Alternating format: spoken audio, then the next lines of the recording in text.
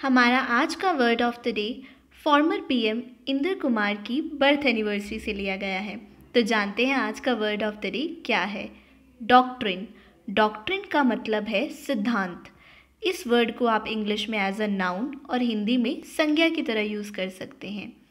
Doctrine का English meaning है a belief और set of beliefs held and taught by a church political party और other group doctrine के synonyms यानी कि समानार्थक शब्द हैं belief concept creed dogma precept अब जानते हैं डॉक्ट्रिन वर्ड को हमने सेंटेंस में कैसे यूज़ किया है।